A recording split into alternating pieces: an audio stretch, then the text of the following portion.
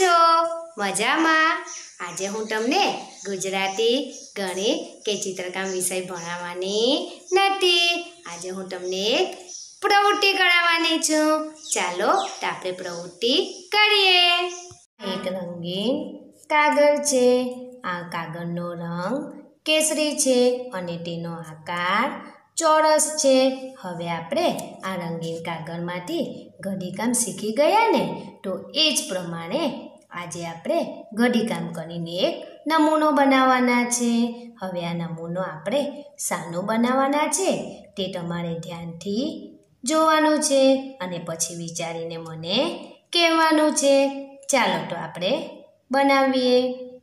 કાગળને હું આ રીતે ફેરવી દઈશ. હવે આપણે આ બંને છેડાને સામસામી ભેગા કરવાના છે. તો આપણે સફેદ ભાગ અંદર રાખીશું અને રંગીન ભાગ બહાર રાખીશું. આ રીતે આપણે ભેગા કરીશું. તો આ કયો આકાર થયો? લંબચોરસ. હવે આપણે ફરીથી આ બંને ભાગને ભેગા કરીશું. આ પ્રમાણે આ કયો આકાર થયો? ચોરસ આકાર થયો. હવે આપણે જોઈશું ચોરસ આકાર કેટલા થયા? એક, બે, ત્રણ, ચાર. હવે આને આપણે ખોલી દઈશું. જુઓ એક, બે, ત્રણ, ચાર આકાર થઈ ગયા ને ચોરસ. હવે આપણે શું કરવાનું છે? આ ખૂણાને અહીં વચ્ચે બરાબર લઈને આ રીતે વાળી દેવાનું છે. ત્રિકોણ આકાર થઈ ગયો. હવે આ ખૂણાને પણ આ જ પ્રમાણે અહીં આપણે વાળી દઈશું.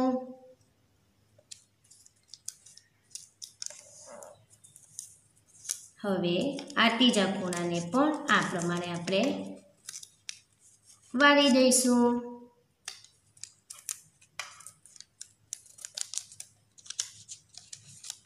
ને અહીં પર આપણે આ પ્રમાણે વાળી દઈશું આપણે આ ચાર ભાગ વાળી દીધા ને, હવે આપણે શું કરીશું?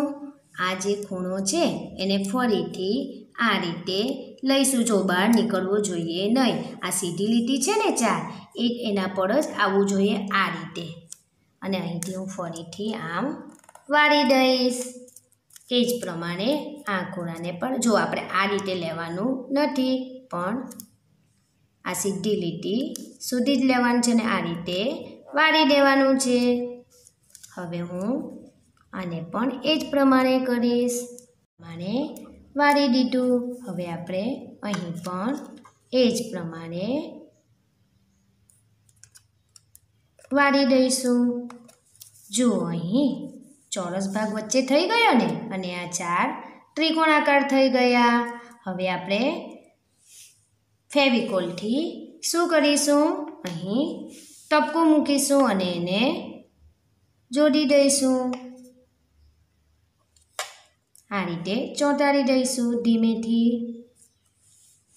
અહીં પણ ફેવિકોલનું ટપકું મૂકીશું અને આ રીતે ચોંટાડી દઈશું.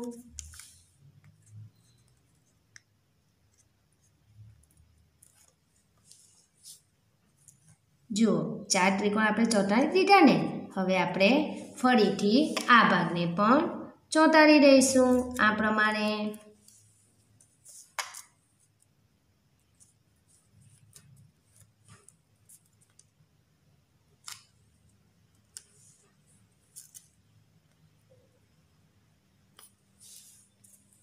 ખૂણા પર થોડું વજન આપી આપણે ફરીથી ચોંટાડી દઈએ.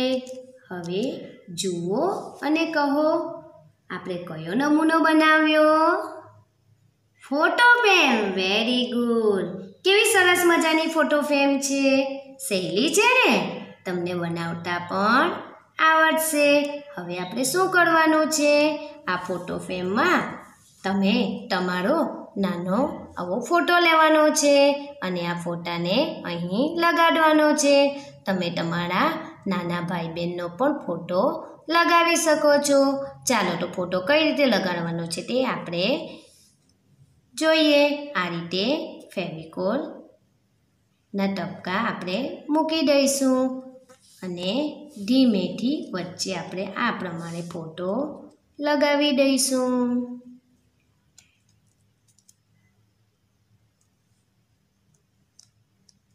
જો, કેવી સરસ મજાની ફોટો ફ્રેમ તૈયાર થઈ ગઈ ને? હવે આ ફોટો ફ્રેમને તમારે ક્રાફ્ટની ચોપડીમાં લગાડવાની છે. તો કઈ રીતે લગાડવાની છે? આ ફોટો ફ્રેમને આ રીતે આપણે લઈશું અને ફરીથી ફેવિકોલથી આ રીતે આ રીતે ટપકા મૂકીશું. અને ચોપડીમાં આ રીતે બરાબર વચ્ચે લગાવી દઈશું. ચોંટાડી દઈશું આ પ્રમાણે. જો, કેવી સરસ મજાની ફોટો ફ્રેમ બની ગઈ ને? કો આ જ પ્રમાણે તમે ફોટો ફ્રેમ બનાવશો ને, અને આ ફોટો ફ્રેમમાં તમારે તમારો નાનકડો ફોટો લગાડવાનો છે અને ફોટો ફ્રેમને ક્રાફ્ટની ચોપડીમાં ચોંટાડવાનો છે. તો તમે બધા ચોંટાડશો ને, અને એ જ પ્રમાણે તમારે બીજી ફોટો ફ્રેમ બનાવવાની છે. આ બીજી ફોટો ફ્રેમમાં તમે તમારા ખાસ મિત્ર અથવા ઘરના કોઈ પણ સભ્યનો ફોટો લગાવી શકો છો. અને આ ફોટો ફ્રેમને તમે શણગારી પણ શકો છો. એની આજુબાજુ ડિઝાઇન પણ દોરી શકો છો. તો તમે આવી ફોટો ફ્રેમ બનાવશો ને. બાય